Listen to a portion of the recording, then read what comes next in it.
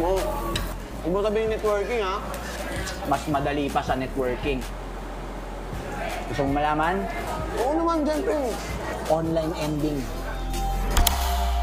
Tatayaan mo ba ako?